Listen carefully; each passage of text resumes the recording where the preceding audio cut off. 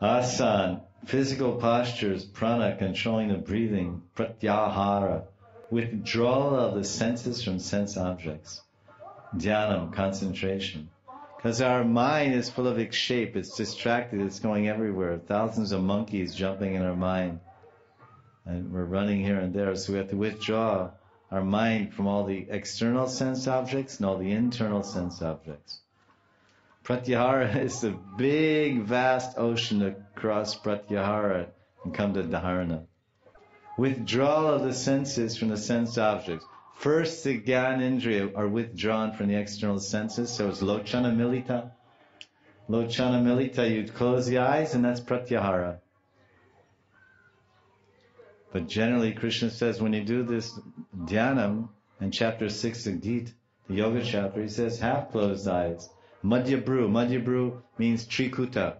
Trikuta means a, a, third eye gazing, frontal gazing. Meditate on the third eye. It's called Agya, Agya Chakra. There's the Riddhi Chakra, Agya Chakra, Manipura, Manipurvaka, and Mulabandha. So many chakras. Anahata Chakra, Heart Chakra.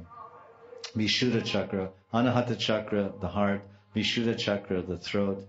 Then there's the uh, Sahasra, Sahasra Padma Chakra, thousand petal lotus, in the top of the head. Sahasra Padma. In the center of the Sahasra Padma is the Brahmarandra. And then that top point is Brahmarandra. Yogis meditate on the Sahasra Padma, they collect everything there, they travel up the world.